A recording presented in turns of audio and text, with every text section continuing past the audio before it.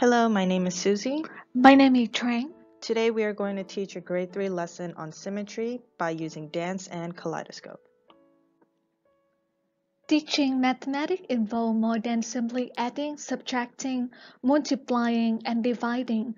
The study of symmetry and its property rationally establish awareness that mathematics is truly used throughout our life. Symmetry is a fundamental part of geometry, nature, and shape. We see symmetry every day, but often do not realize it. As mathematics educators, we see an opportunity to connect symmetry with our students in the dance movements and beauty of the arts. Perhaps not many people could believe that dance and art share similar learning goals as in some mathematical concepts. The focus in this talk is to challenge primary students to use their knowledge on symmetry to create, innovate, perform, and explain certain movements in dance and kaleidoscope patterns Math instructors can use this common interest as an opportunity to create a fun and engaging classroom. The overall and specific expectation used for this lesson reflect the 2005 revised Ontario Mathematics curriculum for grade 3 students.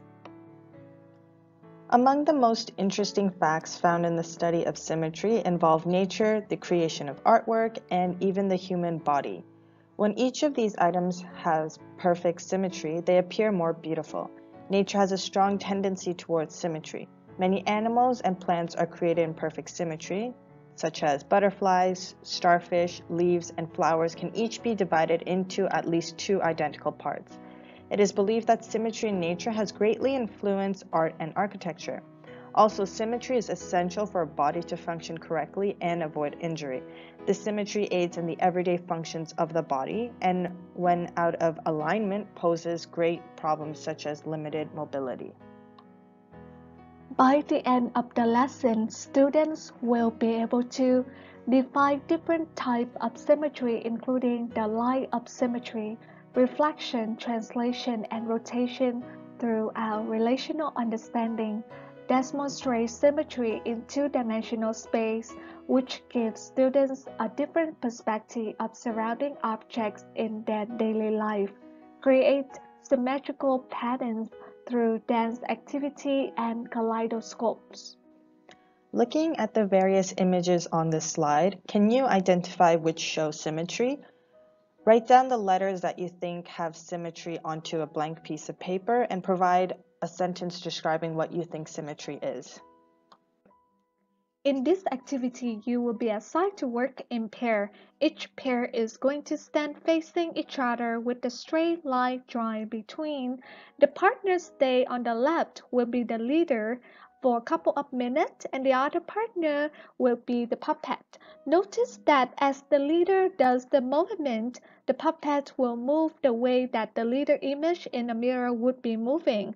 Also notice that anytime the leader turned, the mirror mover had to turn the opposite way, just like the image in the mirror would be. And we will switch the role after that. I will be the leader and I will be the puppet.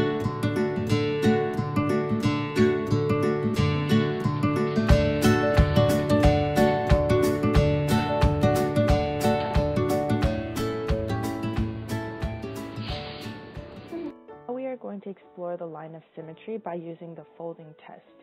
We are going to take paper cutout shapes, some symmetric and some not, and we're going to fold the shapes to find their lines of symmetries. And wherever they fold and you find a symmetry, you will take a pen or a pencil and draw a line where that fold is. So when you're doing the folding test, when the folded part sits perfectly on top, all which means all edges matching, then the fold line is a line of symmetry.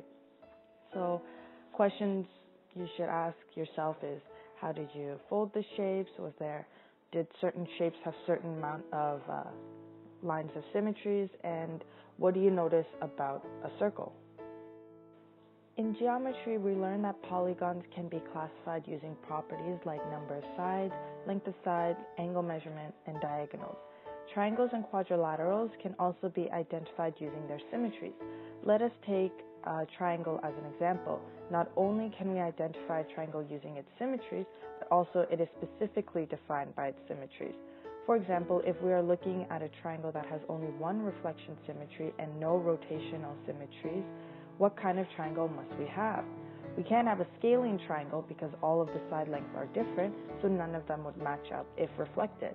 We can't be looking at an equilateral triangle because it has rotational symmetry and three lines of reflection, therefore we must have an isosceles triangle. Why does this make sense? Because two sides are equivalent in length, these will be the only sides that when reflected will mirror each other. Thus there will only be one line of reflection and no rotational symmetry. A symmetry is a transformation that leaves that object unchanged. Hmm, that sounds a bit abstract. So let us unpack it through a particular example like this equilateral triangle. From this picture, you see that if we rotate a triangle through 120 degrees through its center, we end up with the triangle that is identical to the original. In this case, the object is the triangle and the transformation that leaves the object unchanged is rotation to 120 degrees. So we say that an equilateral triangle is symmetric with respect to rotation of 120 degree around the center. If we rotate the triangle by 90 degree instead, the rotate triangle will look different from the original.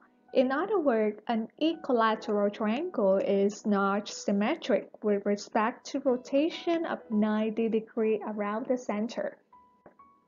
The order of rotation symmetry is how many times a shape will fit over itself during one complete rotation.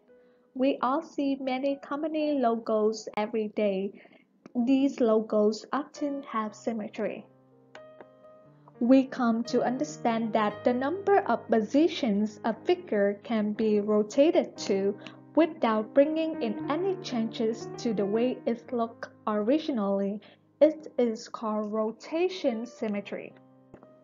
My question for you is which of the following letters have rotation symmetry? We see that when S is rotated by 180 degree, it accurately fits on the original shape. So the letter in shape number 4 has a rotation symmetry. Let us take a look at another type of symmetry. You are given a quarter of a shape. You need to reflect it in two mirror. How does it look like? And this is how it should look like. And now you are giving a shape with shaded squares reflected in two mirror lines. Please complete the shading of the square. Does your picture look like this? When you look in the mirror, you see your reflection.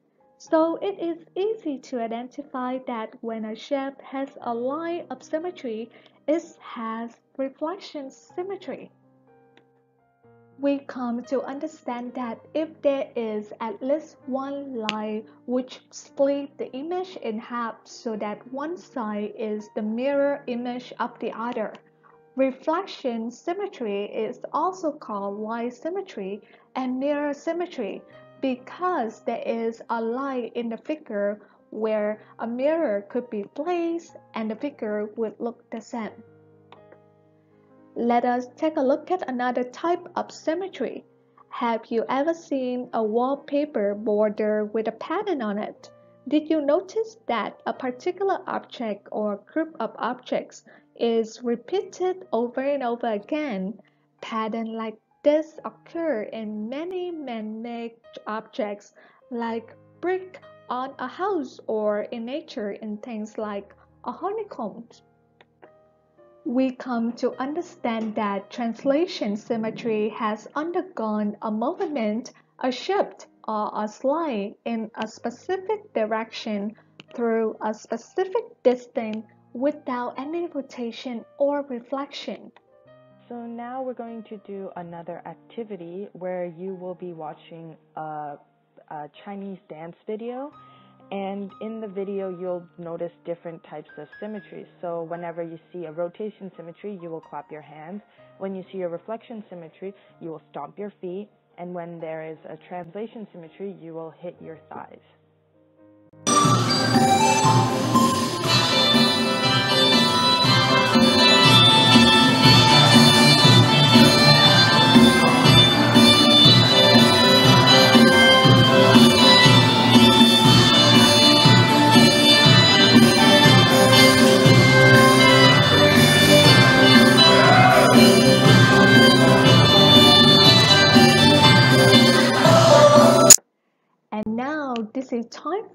To create your own dance pattern. Please partner up with a friend. You and your friend need to create three different dance moves, assuring that all three mentioned type of symmetry going to be performed, including rotation, reflection, and translation. Each move of the dance should be completed in eight count from 1 to 8. Depending on your ability, a 10 to 15 minutes of the class time could be enough for you to invent the three dance movements. Let's enjoy it. You then perform three different dance moves and reflect on the symmetry in your performance with your classmate. The purpose of this activity is to make sure that you are learning a concept through a fun and healthy learning environment. We do not expect you to be the greatest dance performers. However, we assess your creative and innovation and see how you and your partner collaborate with each other while experimenting dance and realizing different type of symmetry. Now let us explore the symmetry in kaleidoscope. A kaleidoscope is a tube containing color pieces of glass and carefully placed mirror. When the kaleidoscope is held to the eye and rotated, the viewer will see colorful symmetric patterns. We encourage you to work in a group of 4 to 5 people and we will provide you a kaleidoscope in class. Um, you encourage to uh, explore different pattern of symmetry through kaleidoscope. And to give you some hint how to do this activity we will show you the video how we make um, different pattern of symmetry um, in kaleidoscope. Hope you enjoy watching the video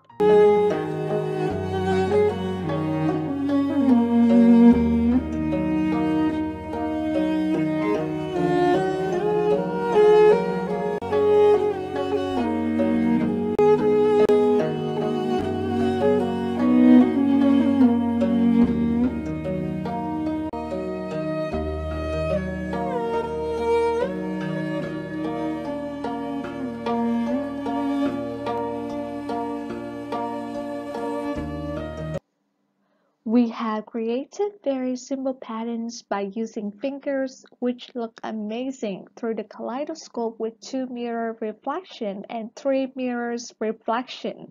We took pictures of each finger's pattern and then changed background color and finger color by using Photoshop. We then make a video including these pictures that was recorded through the kaleidoscope about symmetry aids students in learning how to classify objects according to the arrangement of their constituent parts. Ordering and classification are skills that are used throughout many daily tasks and mathematical skills, and the ability to notice patterns or similarities will make these tasks much easier to carry out. Also, it helps develop students' spatial skills. Children learn concepts about geometric shapes at a very early age. They learn first about a shape as a whole, but with the help of symmetry, children learn how to focus on the characteristics and parts of an object. We believe that by applying type of symmetry through dance and kaleidoscope activity, students will begin to see math everywhere and as an important part of how we function and see things. We hope that by studying symmetry, students can make a connection between math and the real world with a deeper meaning and relational understanding and not just something they have to do.